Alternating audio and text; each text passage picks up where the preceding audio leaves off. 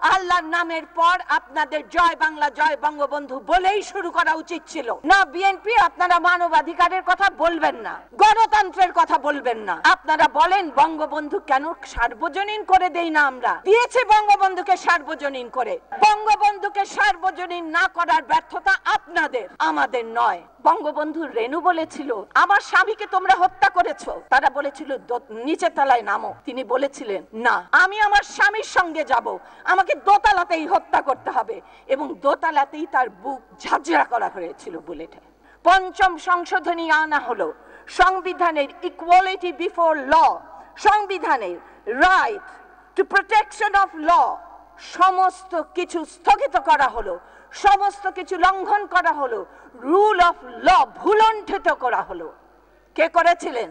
জিয়াউর রহমান। না বিএনপি আপনারা মানবাধিকারের কথা বলবেন না। গণতন্ত্রের কথা বলবেন না। আপনারা বলেন, বঙ্গবন্ধু কেন সার্বজনীন করে দেই না আমরা? দিয়েছে বঙ্গবন্ধুকে সার্বজনীন করে। আপনারা এই মাসে যতগুলো প্রেস কনফারেন্স করেছেন, জয় বাংলা, জয় বঙ্গবন্ধু, আল্লাহর নামের পর আপনাদের জয় বাংলা, জয় বঙ্গবন্ধু বলেই শুরু করা উচিত ছিল।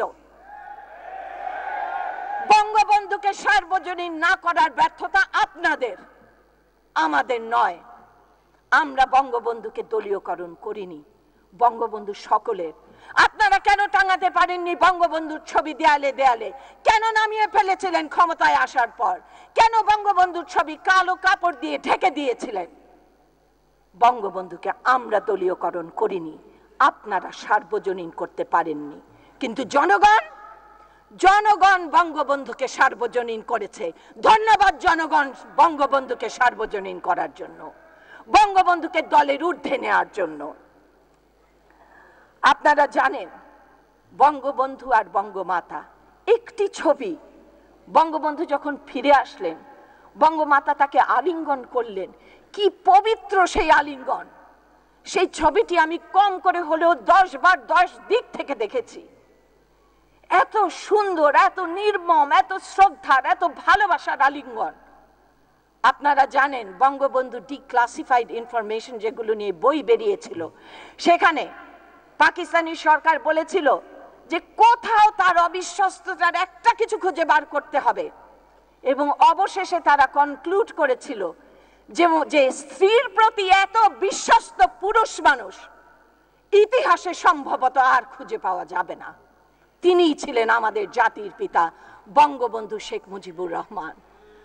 বঙ্গবন্ধুর অসমাত্র আত্মজীবনীতে তিনি লিখেছিলেন, কোট করছি। আমি যদি মরে যাই রেনুর কি হবে? রেনুর তো এই দুনিয়াতে কেউ নেই। বঙ্গবন্ধুর আর চিন্তা করতে হয়নি।